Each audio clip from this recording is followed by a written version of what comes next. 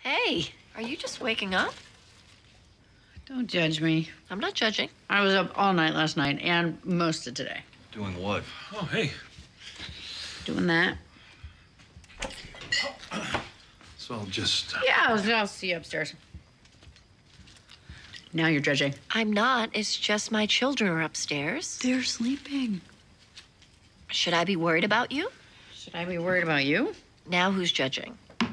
We all need something to take the edge off. You get that. I get sex with my ex. XX. Excellent, excellent XX. And if you'll excuse me, I'm gonna go get some more. Leave the chips. I can't. I uh, need sustenance.